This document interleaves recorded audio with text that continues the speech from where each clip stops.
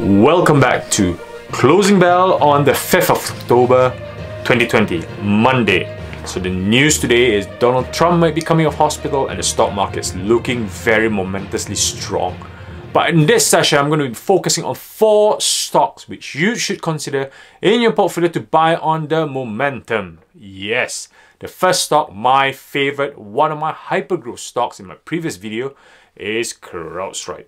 CrowdStrike went up to 4 to 5% today, while it's already hitting highs. Why? Goldman Sachs today upgraded them to a buy.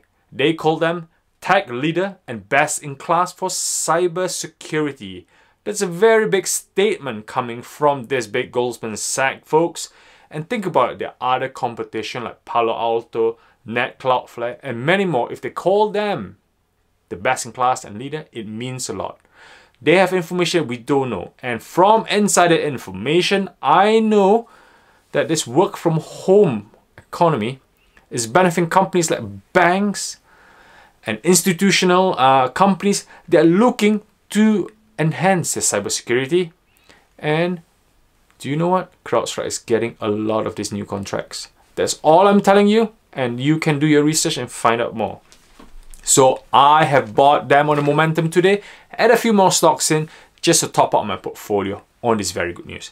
The second stock, McDonald's. McDonald's is up 1.2%, not much, but remember, McDonald's is one of those stay-at-home stocks. People are asking, what are stay-at-home stocks? McDonald's, stay-at-home stocks, deliver to your home stocks, restaurants are closing but not McDonald's stocks, that is McDonald's stocks. So why do you want to own the likes of AT&T, Dell, Amex, IBM? For you value investors, when you can buy McDonald's who are growing still, and then you got dividend growth, what else can go wrong?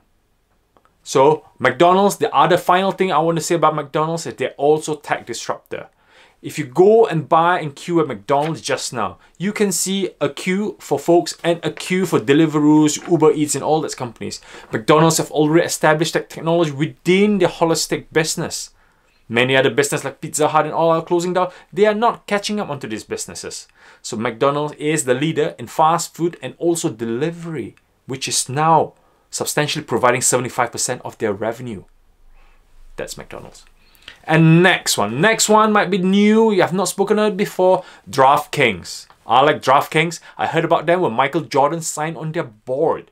Who is DraftKings? Basically, it's a gambling company. Cut a long story short, gambling. We all love gambling company because with this stay-at-home economy, more people stay at home, cannot go out to watch sports. We can't go to the bars because we're spreading coronavirus. Companies like DraftKings are benefiting from this economy people are gambling on fantasy sports, people are cannot go on holidays, people are crazy, they can't go to stadiums, but they want to put a punt, they want to gamble.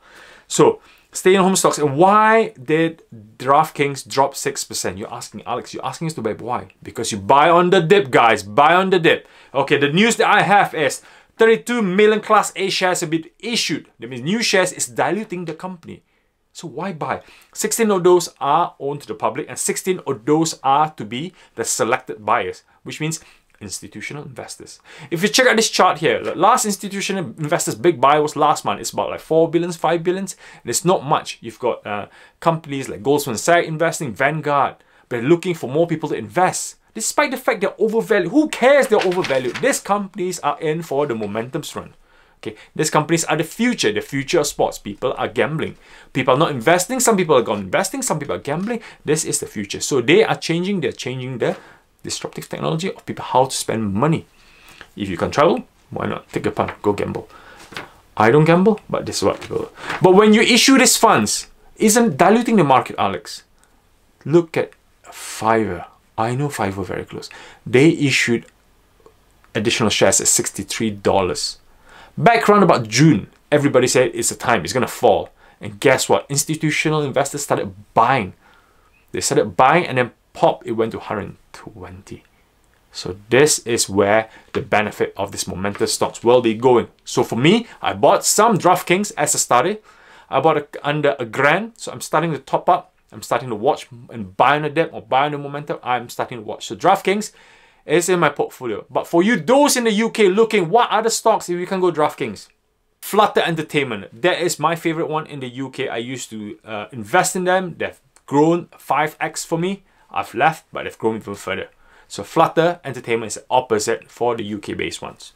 And finally, finally, finally, I would like to speak about all favorite stock, Nvidia. Nvidia went up 4%. They're hitting 550. Remember a couple of weeks back when I was still screaming for everybody to buy, they were 470. Did you get any of Nvidia? No, no, no.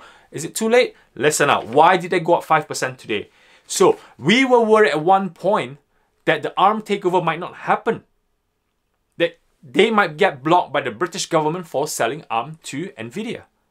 But that's not happening. NVIDIA Jensen Huang is really smart. They said, get these guys involved. If they can produce ARM, get them involved. So they are producing a super AI computer chip. It's called Cambridge One. Keyword Cambridge One, meaning they're going to keep the jobs in the UK. Good news for me, good news for, for NVIDIA. We're going to keep, the second part is they're going to go global. If they want to stay in the UK, they are going to go global. And number three, AI. Last week, NVIDIA announced their collaboration with VMware. And now they're going to be collaborating more with their own internal company. Sorry, ARM. So the great thing, the other news I heard about is this Cambridge One processor is 400 petaflops, guys. 400 petaflops. What does it mean? I wouldn't know what 400 petaflops means. It sounds really fast. But what I like is Matt Hancock, our health secretary, says that this will be part of the biotech era. It will help us beat grow vaccines. So it sounds like this supercomputer is trying to branch out into biotechnology, another disruptor, which I really like. I'm looking forward to hear more about supercomputing in biotechnology sector. You all are asking me, Alex, is it too late to buy?